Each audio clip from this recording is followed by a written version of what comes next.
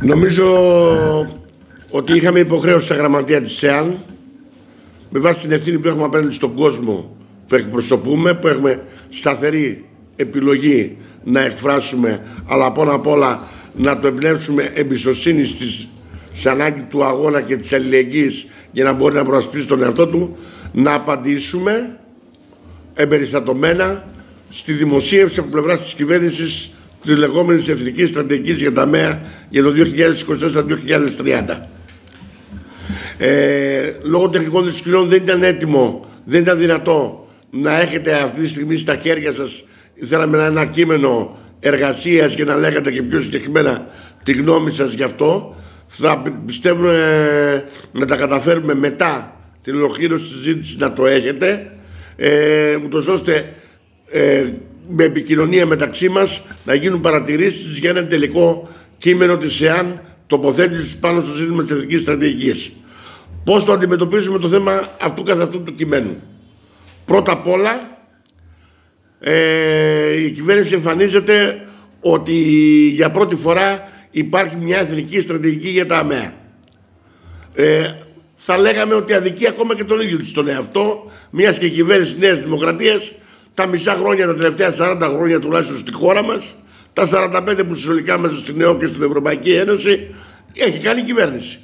Όλοι με σχέδιο δουλεύανε. Είχαν συγκεκριμένες αφετηρίες, κατευθυντήριες γραμμές και αυτές οι κατευθυντήριες γραμμές ήταν η γενικότερη στρατηγική της Ευρωπαϊκής Ένωσης, της ΕΟΚ παλιότερα, που καθορίστηκαν από τις συνθήκες του Μάστριχ, την ΟΝΕ, της συνθήκης Λισαβόνας, την κοινωνική ατζέντα του 2003, τη στρατηγική για το 2003-2010, τη στρατηγική της Ευρωπαϊκής Ένωσης για τη δεκαετία του 2020 και βεβαίως με τη στρατηγική της Ευρωπαϊκής Ένωσης το 2021-2030 και τα κατευθυντήρια κείμενα και οδηγίες που κατά καιρούς από κοινού και μάλιστα στο επίπεδο του Ευρωπαϊκού Κοινοβουλίου ψηφιζότανε συνολικά από τη συντηρητική πλειοψηφία των Ευρωβουλευτών και των Ελλήνων.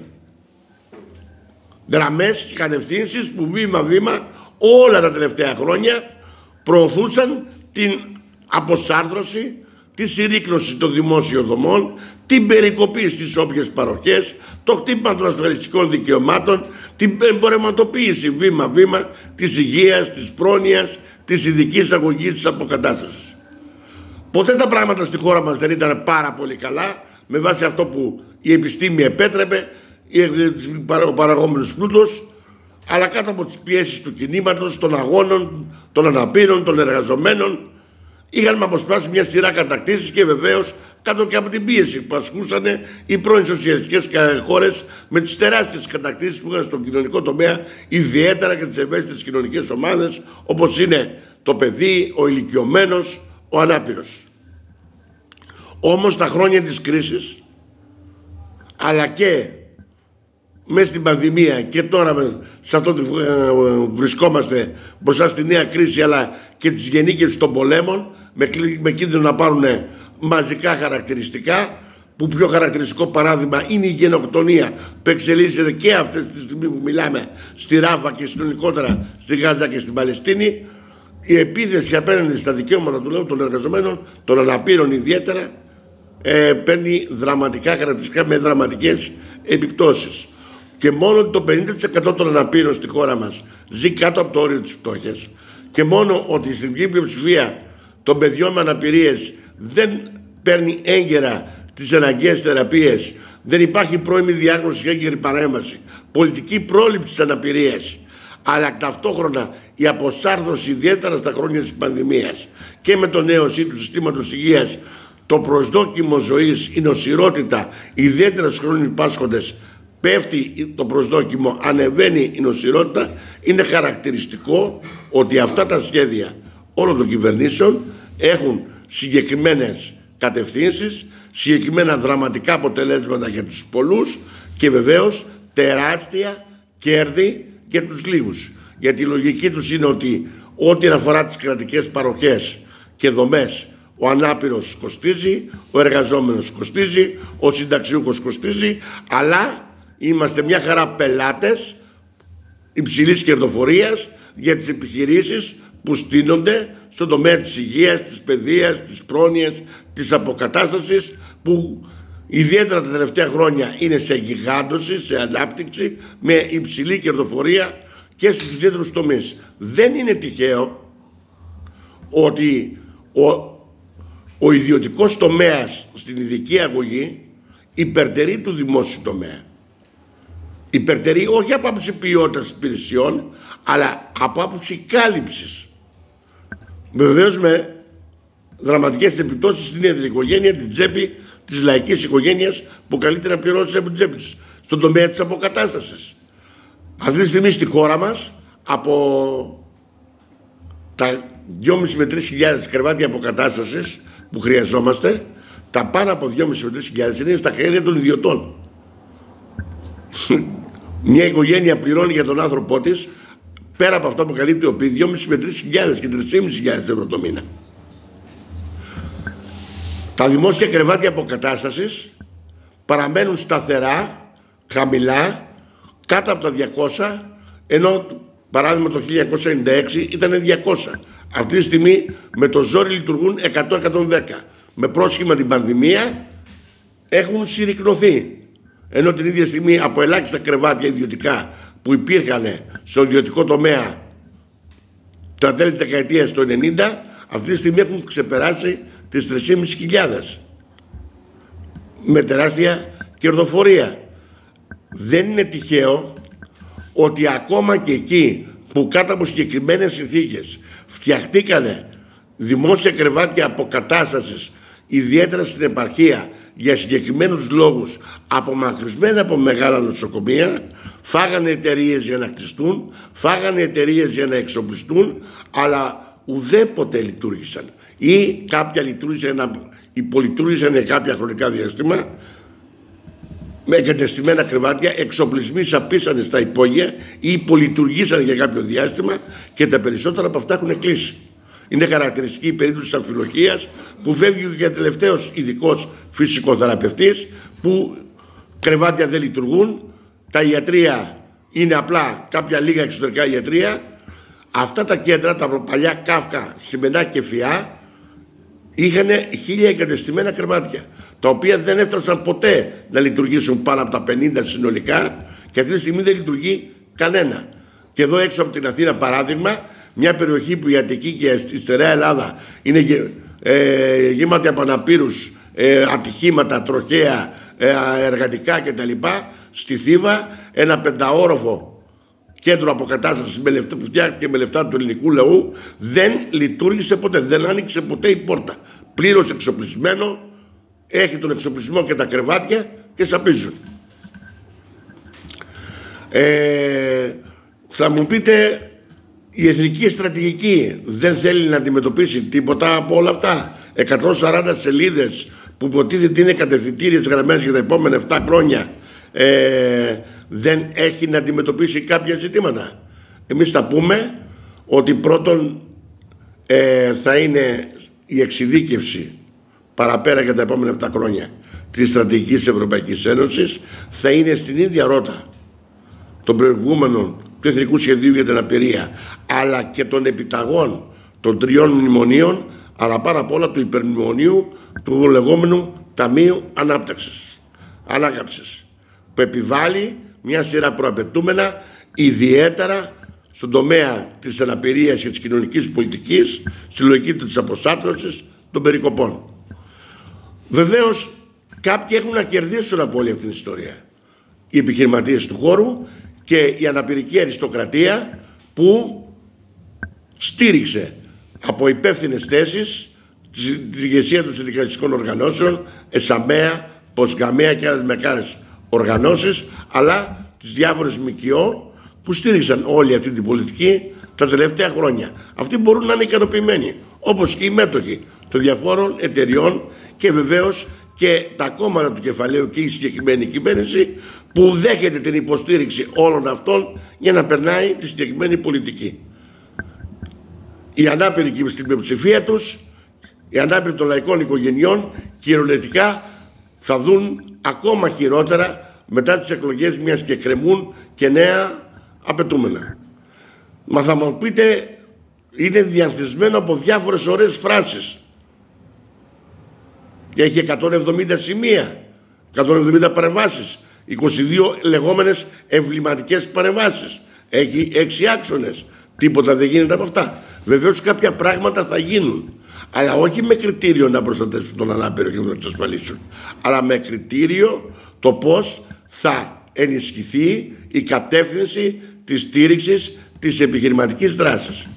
Θα πει κάποιος, Μα εδώ μιλάνε για προσβασιμότητα. Προσβασιμότητα στο δομημένο περιβάλλον. Μιλάνε για προσβασιμότητα στο σύστημα υγείας, της υγείας, της παιδείας, της ε, πρόνοιας. Ε, μιλάνε για αυτόνομη διαβίωση, για στέγες υποστηριζόμενης διαβίωσης. Όλα αυτά δηλαδή δεν θα απαντήσουν σε συγκεκριμένα ζητήματα. Α πούμε ναι. Σε κάποια ζητήματα ε, θα προχωρήσουν αν και έχουν καθυστέρηση και, θα πρέπει, και δεν τους το απαγόρευε και κανένας να κάνουν συγκεκριμένες παρεμβάσεις στους συγκοινωνιακούς κόμβους, στους σταθμούς, στο δομημένο περιβάλλον. Αλλά όμως δεν το κάνουν με κριτήριο να εξυπηρετηθεί ο ανάπηρος. Δεν το κάνουν με κριτήριο να βελτιώσουν την ποιότητα ζωής των αναπήρων και των οικογενειών τους. Άλλο πράγμα τους ενδιαφέρει. Από τους τόμους πλέον που έχουν συγκεντρωθεί στις οδηγίες, στις αποφάσεις, τα ψηφίσματα σε σχέση με την προσβασιμότητα, μέσα σε δυο σειρές κρύβεται η όλη η λογική τους. Ποια είναι; Πρώτο πράγμα ότι τους ενδιαφέρει μέσα από τη διαμόρφωση συνδικών προσβασιμότητας στο δομημένο περιβάλλον, στις τεχνολογίες κτλ. Ότι θα διευρυνθεί η εσωτερική αγορά. Αυτών δηλαδή μπορούν να αγοράσουν προϊόντα και υπηρεσίες, να πληρώσουν μέσα στα πλαίσια της ίδιας της Ευρωπαϊκής Ένωσης. Υπολογίζουν ότι 92 εκατομμύρια ανάπηροι που είναι στις χώρες μέλη της Ευρωπαϊκής Ένωσης με το να διαμορφωθούν συνθήκες προσβασιμότητας αυτοί που έχουν λεφτά θα μπορούν και τα όποια λεφτά έχουν να τα, να, να τα διαθέσουν για να αγοράσουν προϊόντα, υπηρεσίες ή για να πάνε στον τουρισμό. Λένε ωραία λόγια για δικαίωμα στον αθλητισμό, στην προσβάσιμο τουρισμό κτλ. Αλλά δεν λένε για τον ανάπηρο που δεν έχει να πληρώσει για να κάνει διακοπές αν θα μπορέσει να κάνει διακοπές Απλά τους ενδιαφέρει να υπάρχουν ξενοδοχεία να είναι προσβάσιμα, να υπάρχουν παραλίες στα συγκεκριμένα ξενοδοχεία που είναι προσβάσιμα, γιατί ξέρουμε εκεί που δεν υπάρχουν μεγάλα ξενοδοχεία. Οι ελάχιστες είναι οι παρεμβάσεις και τα μηχανήματα ακόμα που κάποια στιγμή τα είχαν διαφημίσει δεν λειτουργούν. Αλλά πολύ περισσότερο δεν τους ενδιαφέρει να έχει ο ανάπηρος λεφτά, να έχει δουλειά, να έχει σχολείο για να πάει κάνουν ολόκληρη κουβέντα για την προσβασιμότητα και την ίδια στιγμή δεν λένε κουβέντα για τα δεκάδες ειδικά σχολεία της χώρας μας που είναι ακατάλληλα ως άκρος επικίνδυνα. Δεν είναι μόνο αυτά που είναι σε κοντέινερς. Μόνο στην Αττική μέσα δύο σχολεία από τα πιο μεγάλα είναι κατασκευασμένα στα τέλη του 19ου αιώνα η συντηρητική τους πλειοψηφία δεν είναι χτισμένα καν με βάση το νέο σύγχρονο αντισυσμικό κανονισμό. Και μιλάμε σχολεία που κατά κανόνα είναι υπεράθυμα, μιλάμε για ένα μαθητικό πληθυσμό, παιδιά με νοητική στέρηση, αυτισμό, κινητική αναπηρία, που ο καθένας καταλαβαίνει τι σημαίνει, τι πρέπει να γίνει, τι δυσκολίες θα υπάρχουν να διαχειριστούν, να βοηθούν αυτά τα παιδιά σε περίπτωση ενός ατυχήματος, μιας πυρκαγιάς ή ενός σεισμού. Κουβέντα δεν λένε στις 140 σελίδες για πάνω από χίλιες αναφορές στη λέξη προσβασιμότητα το τι θα γίνει με αυτά τα σχολεία. Που όταν ξέρουμε ότι ακόμα και τα νεόδημητα σχολεία, ειδικά σχολεία, οι κανονισμοί δεν είναι τέτοιοι που πραγματικά με βάση τη σύνδεση του μαθητικού πληθυσμού. Και υπάρχουν σχολεία νεόδημητα ή με ανύπαρκτα ουσιαστικά προάβλια ή αναπτυγμένα σε δύο, τρία και τέσσερα διαφορετικά επίπεδα. Ο καθένας καταλαβαίνει τι μπορεί να γίνει σε μια έκτατη κατάσταση. Όμως και για το σύστημα υγείας. Λένε για προσβάσιμο σύστημα υγείας, για το δικαίωμα και, μας, και το λένε και δικαίωμα στην πρόσβαση. Δηλαδή τι, να φτάσεις στο νοσοκομείο, πότε, να κλείσεις ραντεβού για τις θεραπείες σου, Πότε; όταν παίρνεις να κλείσεις ραντεβού για μια σειρά ειδικότητες και βρίσκεις μετά από 6, 8, 10 μήνες και υποχρεώνεσαι, αν έχεις λεφτά, να πας στα απογευματινά ιδιωτικά χειρουργία, ιατρία και τώρα σου λένε και πρέπει να πανηγυρίζεις ότι αν έχεις λεφτά θα μπορείς να χειρουργηθείς, να φύγεις από τη λίστα των 2 και 3 χρόνων, να πάει να χειρουργηθείς στα απογευματινά ιδιωτικά χειρουργία. Όταν ξέρουν και οι ίδιοι ότι πέφτει η απόδοση μετά το μεσημέρι για κάποιον που δουλεύει από το πρωί μέχρι το βράδυ στο ένα χειρουργείο. Όταν υπάρχουν και μελέτες σήμερα στο εξωτερικό που λένε ότι είναι αυξημένη η θνησιμότητα και η νοσηρότητα, οι επιπλοκές στα περιστατικά που χειρουργούνται το απόγευμα. Αλλά αυτό που τους ενδιαφέρει πώς θα μπει το χρήμα στα η αξία να κινεί το ίδιο το σύστημα. Υπάρχουν και άλλα ιδεολογήματα που είναι διαχειρισμένο για μία ακόμα φορά το κείμενο. Ίσες ευκαιρίες, καταπολέμηση των διακρίσεων, ναι, συμπερίληψη, ένταξη, αυτόνομη διαβίωση κτλ. Πρώτον, ποιες ίσες ευκαιρίες; Τι ίσες ευκαιρίες έχει το παιδί με αναπηρία του άνεργου, του οικοδόμου, αυτό που πληρώνεται με 500 ευρώ και 800 το μήνα, τι δυνατότητες, τι ίσες ευκαιρίες μπορεί να έχει με το ανάπηρο παιδί, ενώ που έχει χιλιάδες ευρώ εισόδημα το μήνα ή δεκάδες χιλιάδες ή και κάποιοι που έχουν ακόμα και εκατοντάδες χιλιάδες ευρώ. Άλλωστε ζήσαμε μέσα στην πανδημία τις επιπτώσεις που είχαν τα παιδιά με αναπηρία και βεβαίως το πώς μπόρεσαν να αντιμετωπίσουν την πανδημία και τις ανάγκες τους τα παιδιά με αναπηρία των πλούσιων οικογενειών στις βίλες της Κιβετσιάς, της Εκάλης και όχι μόνο. Σε ένα, σε ένα ε, σύστημα που στηρίζεται στην εκμετάλλευση, στην τεράστιες διακρίσεις αυτούς που δουλεύουν και αυτούς που ζουν από τη δουλειά, ποια καταπολέμηση των διακρίσεων μπορεί να γίνει εις βάρος των αναπήρων; Είναι ωραία λόγια για να κρύψουν τα ακόμα χειρότερα που μας ετοιμάζουν. Μιλάνε για τις στέγες υποστηριζόμενης διαβίωσης. Αλλά και συνολικά στο κείμενο και στο συγκεκριμένο. Αυτή τη στιγμή, ενώ έχει αναδειχθεί σαν την κυρίαρχη λογική του αποδρυματισμού, της απασυλοποίησης, παν, το πολύ 500 άτομα καλύπτονται στις στέγες υποστηριζόμενης διαβίωσης χωρίς να βάζει φράγκο το ίδιο το κράτος στις περισσότερες των περιπτώσεων, πληρώνουν οι γονείς, πληρώνουν τα ασφαλιστικά ταμεία. Αν αύριο δεν έχουν τα ασφαλιστικά ταμεία, τι θα γίνει; Όταν με την γραμμή τους και με την πολιτική τους, ακόμα και σήμερα ανακοίνουν η κυβέρνηση για νέες εισφοραπαλλαγές, μείωση των εισφορών των εργοδοτών δηλαδή, αυτό πάνε στον ΕΟΠΗ. Προς εργοδότες το όνομα των κινήτρων για την ανάπτυξη. Δηλαδή κινδυνεύουν ακόμα και αυτές οι δομές να συρρυκνωθούν. Όχι μόνο λοιπόν δεν λένε τι λεφτά θα δώσουν, ενώ να μιλάνε για αυτόνομη και ε, ανεξάρτητη διαβίωση κτλ. Αλλά θέλουν να μας κάνουν να πιστέψουμε ότι θα υπάρξει και κοσμογονία για το μοναδικό ποσό που δια, ε, εμφανίζεται στο κείμενο που αναγνωρίζουν ότι θα δώσουν 600 εκατομμύρια για την υλοποίηση της εθνικής στρατηγικής της αναπηρίας για το 2024-2030. Βεβαίως δεν διευκρινίζουν αν αυτό το ποσό, τα 600 δηλαδή εκατομμύρια ε, για τα επόμενα 7 χρόνια θα είναι επιπροσθέτως στις ίδιες σημερινές δαπάνες. Ας δεχτούμε ότι έστω και έτσι. Θα είναι επιπροσθέτως. Αν και μάλλον συνυπολογίζουν και τις δαπάνες του ΕΟΠΗ και αυτά που σήμερα δίνουν. Αλλά ας δεχτούμε ότι έστω και έτσι.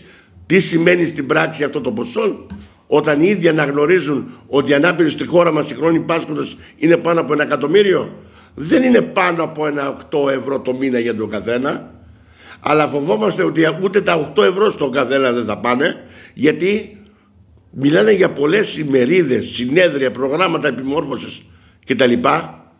που μάλλον εκεί θα δαπανηθούν Ξέρουμε τη βιομηχανία των ημερίδων, των συνέδριων, ανθίζουν τα συνέδρια και οι ημερίδες, αλλά οι ανάπηροι από το κακό στο χειρότερο. Ε, άλλη μία πίστοση εκφράζεται μέσα από το συγκεκριμένο κείμενο. Δεν μιλάνε πουθενά αλλού για κρατικές επιχορηγήσεις, πολύ περισσότερο δεν μιλάνε για κρατική ευθύνη.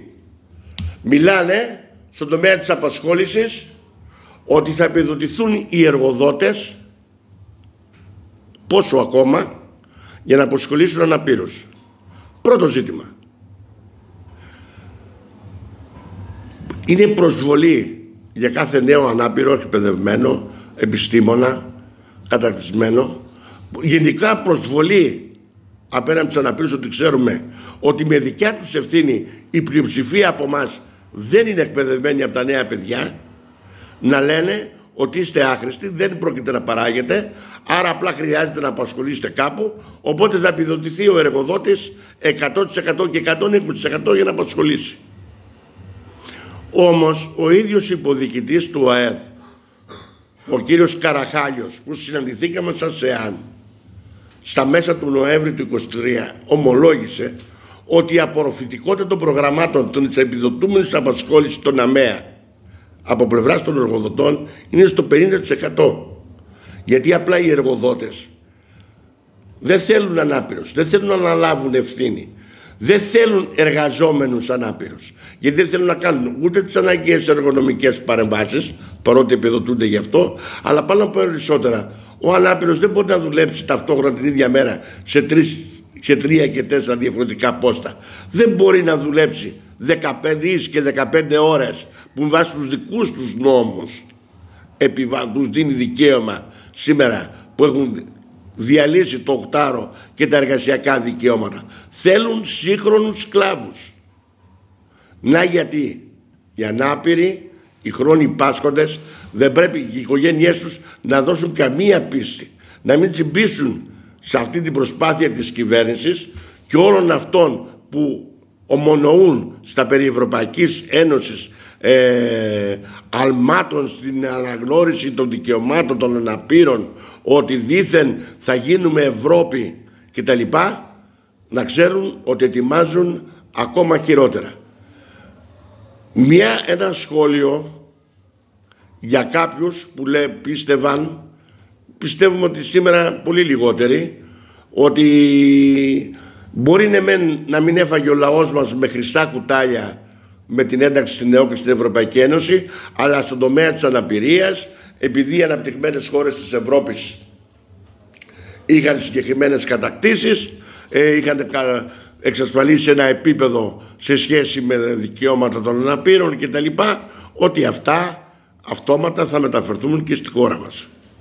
Πρώτο ζήτημα και αυτό το επίπεδο που είχαν κατακτήσει ήταν κάτω από σκληρούς αγώνες των εργαζόμενων, των αναπήρων, των λαών αλλά από τα τέλη της δεκαετίας του 70 ξεκινάνε και τα ξυλώνουν με τα μέτρα που πήρε από πρώτη, ως πρώτη κυβέρνηση τη γραμμή που έδωσε η Θάτσερ ξυλώνοντας κυριολεκτικά δομές, παροχές σε σχέση με την αναπηρία όχι τη εργατική στη συνέχεια δεν ακολούθησαν και βεβαίως και διάφορες σοσιαλδημοκρατικέ κυβερνήσεις. Άλλωστε, το 1995 που έγινε το μεγάλο τσεκούρεμα των επιδομάτων αναπηρίας στη Μεγάλη Βρετανία, για να περάσει το μέτρο, προσέξτε, κάτι ανάλογα με διάφορους τρόπους που κάνει και στην Ελλάδα, βάλανε Υπουργό Εργασίας, τυφλό, που υπέγραψε τη σχετική απόφαση.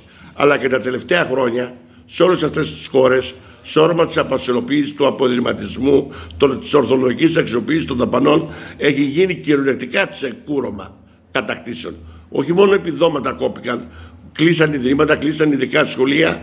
Με πιο αποκαλυπτικό το δράμα που βίωσαν οι ανάπηροι στις δομές δημόσιες και πολύ περισσότερο επιχειρηματικές στα χρόνια της πανδημίας με τις εκατοντάδες χιλιάδες θύματα της κατακόμες των νεκρών γιατί δεν υπήρχαν τα νέα γκαία μέτρα πρόληψης. Με τα συστήματα υγείας που κατέρευσαν αυτά που μας λέγανε τότε όλοι πριν μας καλλιεργούσαν τα πρωτοποριακά συστήματα της Γερμανίας, της Αγγλίας, της Γαλλίας ή ακόμα και τον ΙΠΑ. Όλοι θυμόμαστε το στρατό να μαζεύει πτώματα από τα διάφορα ιδρύματα και νοσοκομεία, τους ομαδικούς τάφους στις αναπτυγμένες χώρες από τη Νέα Υόρκη μέχρι την Πέργαμο, τις, τις, τις πόλεις της Ισπανίας, της Γαλλίας αλλά και της Αγγλίας. Από την άποψη αυτή, ο κόσμος δεν πρέπει να δείξει μια τέτοια εμπιστοσύνη. Τα σχέδια είναι ακόμα χειρότερα. Και στον τομέα της ειδικής εισαγωγής, που και εδώ αφιερώνουν ολόκληρο κεφάλαιο περί ε, συμπερίληψης, ένταξης κτλ. Αφήστε το σχόλιο που κάναμε στην αρχή ότι δεν ακουμπάνε καθόλου το ζήτημα των ειδικών σχολείων. Μα βεβαίως ένα μεγάλο ποσοστό των παιδιών με αναπηρία και μαθησιακές δυσκολίες μπορεί να ενταχθεί στη γενική εκπαίδευση.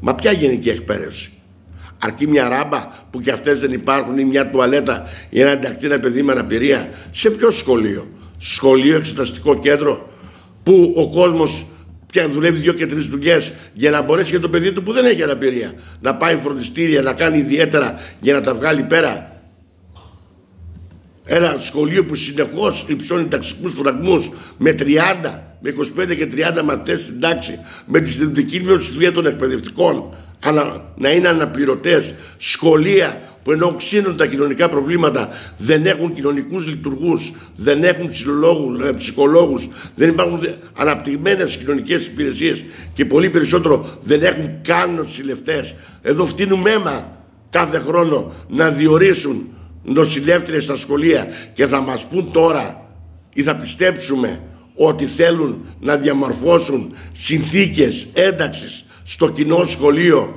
των παιδιών με αναπηρία. Πίστεψαν πολλοί γονείς πριν από λίγα χρόνια.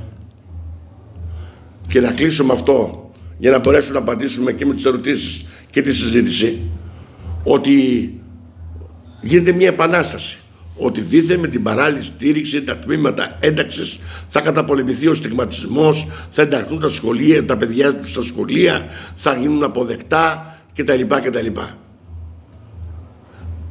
Εμείς από τότε προειδοποιούσαμε και η ΣΕΑΝ και ο νέος σύλλογος των γονιών των ΑΜΕΑ και το ταξικό συνδικαλιστικό κίνημα και το ΠΑΜΕ εκπαιδευτικών και οι εργαζόμενοι ε, με το συνδικάτο στο ταξικό τους Σεμισέα ότι αυτό ήταν το τυράκι στη φάκα.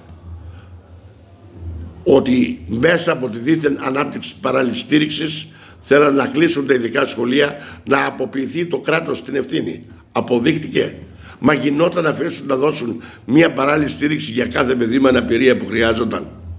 Αυτοί που αρνήθηκαν να πάρουν ακόμα και καθαρίστριες μέσα στην πανδημία που ήταν άκρος απαραίτητη θα παίρνανε και αποδείχθηκε βεβαίως στην πορεία και με την άρνηση των γεδασί να δίνουν τα ανάλογα παραπεμπτικά αλλά ανάλογα και εκεί που έδιναν τα παραπεμπτικά να μην διορίζονται οι παράλληλοι ή να πηγαίνει μετά από 4 και 5 μήνες ή να έχουμε σαν αποκορύφωμα την εγκύκλιο πέρυσι που έλεγε μία παράλληλη στήριξη για κάθε τάξη για να έχουμε το αποτέλεσμα να υπάρχει ένας εκπαιδευτικός παράλληλης για τέσσερα και πέντε παιδιά ακόμα και σε διαφορετικά σχολεία. Για τα τμήματα ένταξης δεν χρειάζεται να πούμε πολλά λόγια.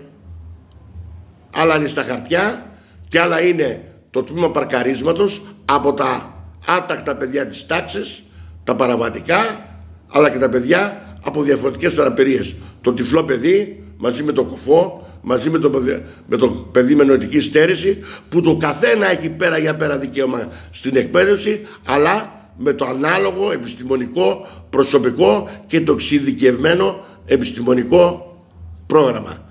Άρα ωραία λόγια χαϊδεύουν αυτιά για να ξεφορτωθούν την ευθύνη. Γι' αυτό έχουμε σήμερα γιγάντωση των ιδιωτικών παράλληλων μέσα στα σχολεία που πληρώνουν δηλαδή οι γονείς δηλαδή εδώ έχουμε το φαινόμενο να έχουν πλημμυρίσει με ιδιωτικές παράλληλες ακόμα και τα δημόσια ειδικά σχολεία υποτίθεται είναι ειδικό σχολείο και πρέπει να καλύπτει συνολικά τις ανάγκες των παιδιών αλλά όμως για να μπορέσει το να λειτουργήσει το σχολείο το παιδί σπρώχνεται από τους διευθυντές και τα στελέχη της δευτεροβάθμιας και πρωτοβάθμιας εκπαίδευσης οι γονείς να πληρώνουν από την τσέπη τους για συνοδό, για ιδιωτική, παράλληλη κτλ. Να γιατί περισσότερο αναγκαίο από ποτέ είναι ο κόσμος να τους γυρίσει την πλάτη, να στρατευτεί με το αγωνιστικό γονεϊκό και αναπηρικό κίνημα, μαζί με το ταξικό συνδικαλιστικό κίνημα, με τους εκπαιδευτικούς, να μην περιμένει από αυτούς που τους ανοίγουν το γεάδα, τους ετοιμάζουν ακόμα χειρότερα καμία λύση.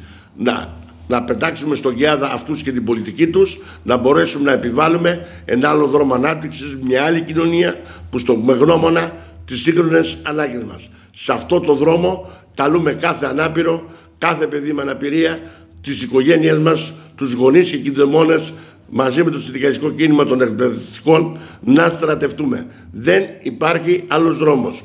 Καλούμε κάθε φίλο και φίλη να μελετήσει το κείμενο εργασίας που θα στείλουμε τις επόμενες ώρες που λόγω των τεχνικών της σχολείων δεν μπορέσαμε να το έχετε σήμερα μπροστά σας και με βάση αυτό θα πορευτούμε το επόμενο διάστημα και με τις παρατηρήσεις σας και με τις πρωτοβουλίες που θα πάρουμε.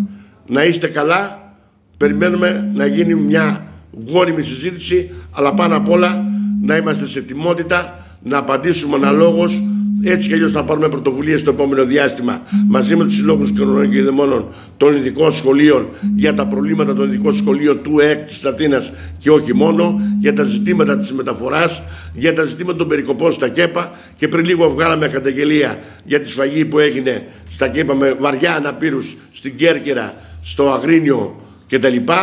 Ε, αλλά πάνω απ' όλα, όταν σκοτώνουν κάθε μέρα τα παιδιά στη Γάζα, δεν μπορούμε παρά να μην ξεσηκωθούμε γιατί αύριο θα σκοτώνουν και τα δικά μας τα παιδιά. Δεν πρέπει να εθιστούμε στην βαρβαρότητα, δεν πρέπει να εθιστούμε στο θάνατο.